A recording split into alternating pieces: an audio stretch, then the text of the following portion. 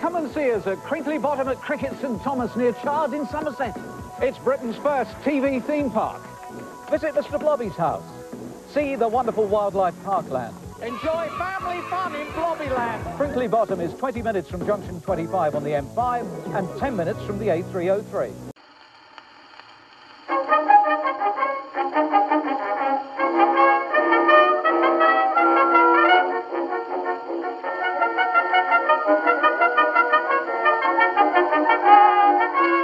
If you grew up in the UK during the 90s, then you surely know who Mr. Blobby is. And if you didn't, let's take an expedition through the strange popularity of the character and the theme park based around him.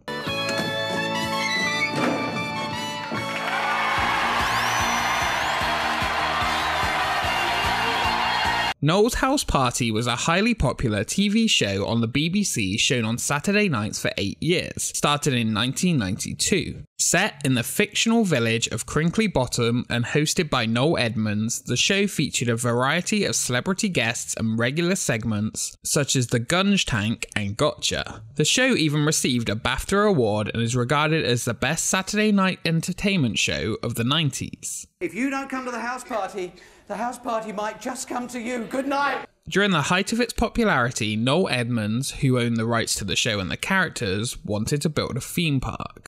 The first was located in the quiet village of Cricket St Thomas in Somerset, near where Noel Edmonds resided. The estate, which would be the location of the future Blobbyland, was opened to the public in 1967 as the Cricket St Thomas Wildlife Park and was home to all sorts of animals, including elephants. Over the next decade, shops, cafes, restaurants, and a miniature railway were added to the park, and by the time the 1980s had arrived, the park was one of Somerset's most popular tourist attractions. During 1993, when House Party was one of the most popular television shows in the country, a deal was created with the park owner, John Taylor, to turn the park into Mr. Blobby's hometown and the village of Crinkley Bottom. The wildlife section of the park would remain, but multiple attractions would be added, including a planned replica of the Great House from the TV show. Millions of pounds were put into the transformation of Cricket St Thomas. John Taylor and Noel Edmonds revealed the plans in February 1994 by signing the contracts, and work began on the construction of the park. And the first attractions planned were Mr. Blobby's house and Noddy in Toy Town.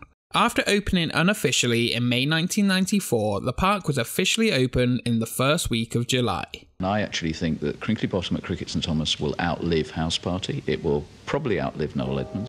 The park was an odd mix of Mr. Blobby, Noddy, and a wildlife park, with areas such as the Crinkley Bottom Safari Ride, the renamed miniature railway as the Crinkley Bottom Railway, Mr. Blobby Shows, Mr. Blobby Shops, and of course, the Mr. Blobby's house named Dunblobbin. Mr. Blobby was one of the most famous characters in the UK during the 90s for some reason. Love him or hate him, he was featured heavily in a primetime Saturday TV show. He had a number one music single.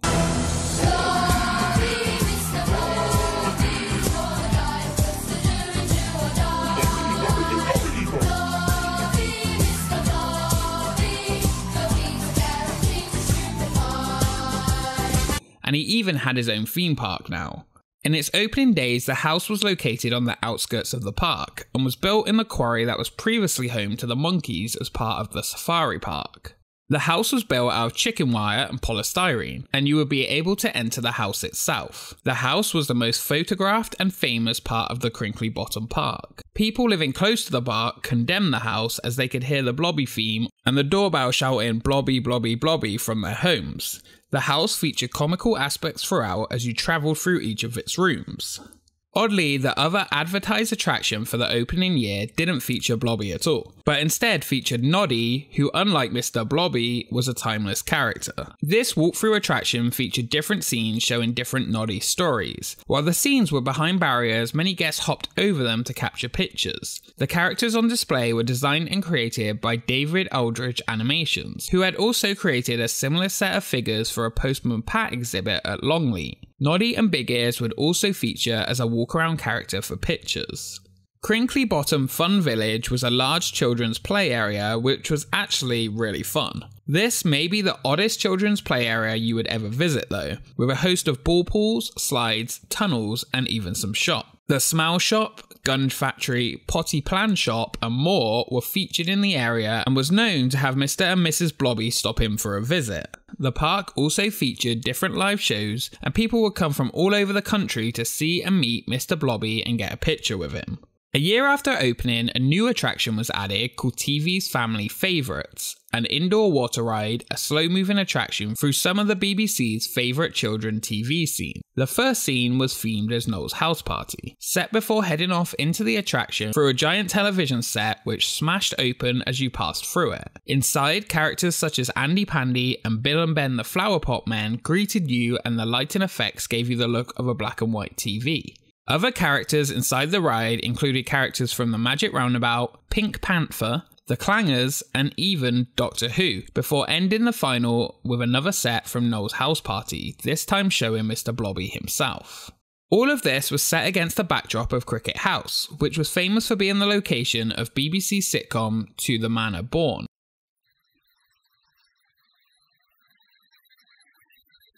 And while it was featured on the logo for the park, the house was not even open to the public.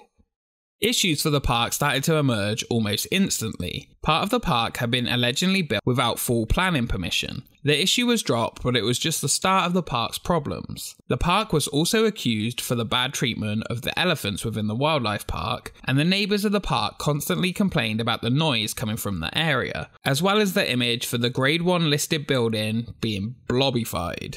Despite this, though, for its first years after opening, the park was incredibly popular. The first season alone had 500,000 guests visit. All this time, Noel Edmonds was pushing to build the replica of the Great House from the TV show, which was each time vetoed by the Somerset County Council. By the end of its second season, the park had welcomed over 1 million guests. By 1996, though, Mr. Blobby was no longer as popular throughout the UK, and the 1996 season was troubled. The park was rebranded as Cricket St Thomas Wildlife Park and entry prices were lowered. Due to licensing constraints, though, Mr. Blobby remained within the park. It wasn't until 1997 that it was decided Mr. Blobby would be removed distance itself from the losing popularity of the Crinkley Bottom era.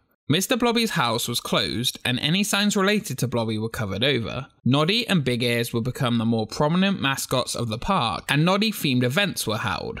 The Blobby house was left intact, but just closed. The final room of the TV Favourites ride was changed from Noel's house party to a scene featuring Noddy and Big Ears, and the live shows within the park stopped performing. The end of this show is not quite working out the way I thought it would, but anyway, it's, it's an overworked expression when people say it's the end of an era. But for BBC Television, for the entertainment department, for me, and possibly you, it really is the end of an era. I hope your memory will be very kind to us after 169. Bye. The TV show was cancelled in 1999 after ratings continued to decline. The park would not recover from the financial difficulties left from the Crinkley Bottom era, though, and the Taylor family, trying to escape the shadow left by Mr. Blobby, put the estate on the market for sale for around £8 million. Not long later, it was purchased by Warner Holidays and planned a grand revamp with the removal of all things Noddy related. The area became a hotel and wildlife park, and Crinkley Bottom and Noddy were no more. The boat ride attraction was also closed, and many of the staff took part to the attraction. In 2001, the ride was sold to Watermouth Castle in Ilfracombe and turned into an open air river ride, and it still remains in operation today. Surprisingly, though, this is not the end of the story for this location. This weird mix of hotel and safari continued throughout the 2000s. Warner Hotels were considering keeping Noddy for a while, but decided against it. The wildlife aspect continued into as late as 2009 before the wildlife park closed due to lack of revenue. After one more revamp to Cricket St Thomas Lakes and Gardens lasting two years, the grounds eventually became only accessible to locals and guests of the hotel. Some of the wildlife enclosures still exist today abandoned on the grounds, but as of 2018, nearly everything remaining from the park has been removed, but only recently. Dunblobbin, Mr. Blobby's house, sat abandoned and nature took over for years in its original state. It sat slowly decaying and vandalised until it was finally demolished in 2014 after years sitting abandoned. This once popular photographed icon, remembered for many happy memories, became a sad, creepy, abandoned place of myth. This, though, was not the only instance of a Mr. Blobby theme park in the UK, and he was part of the Pleasurewood Hills theme park, as well as a second theme park in Lancashire operating only for three months. But these are two whole different stories for a different time. The park was short lived but provided many happy memories for the people who visited it, including myself.